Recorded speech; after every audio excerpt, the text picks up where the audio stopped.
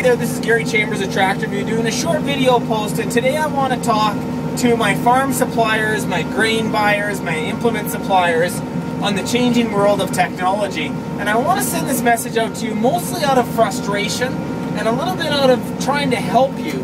Um, as most of you know, I run a successful real estate business, and part of the success of my real estate business was understanding that my clients were changing. I couldn't just respond, ignore the changes within my clients. They wanted to be responded with via text messaging. They want to be responded with via email. Um, they want links to URLs for YouTube videos.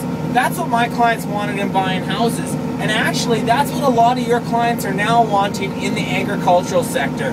You may not see it as much, but there's a large group of young tech savvy farmers coming up right now that really don't want to spend a lot of time on the phone. And let's face it, we're in equipment that's maybe not as noisy as it used to be, but we're out working with grain augers, we're cleaning out grain bins, we're working around loud equipment. Sometimes phoning us isn't the best mode of communication. Sometimes an email is better, sometimes a text message is better.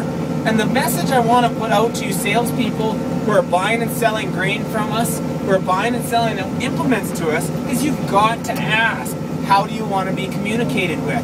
I get 150 phone calls a day people wanting to buy and sell houses. So I'm going to take all of those calls. The last thing I want is a salesman phoning me who I'm buying a piece of equipment from that's worth just about as much as most of the houses I sell, and him continually phoning me, asking me if I can come down and meet him to look at a quote on a combine. It drives me crazy. What I want him to say is, here's the PDF copy of the quote, here's the here's a YouTube video of the combine. I went out and taped it at the farmer's yard, so you don't have to drive out there and look at it. And ask me if you've got any questions after reviewing the video and the pictures and the PDF of the quote on the trade that you want.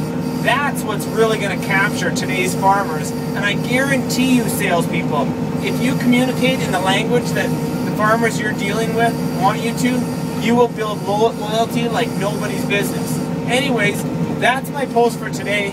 Uh, as you can see, I'm finding my way around a slough, and if I was talking on a phone, this would also be irritating because I would probably be stuck. Not saying that I'm not going to get stuck driving around videoing myself, but I want you to pay attention because this generation of farmers coming up are going to demand this. And if you're ahead of the curve, you are going to be massively successful in selling farm equipment to these young farmers. Anyways, thanks for watching for today. That's my view on Tractor View.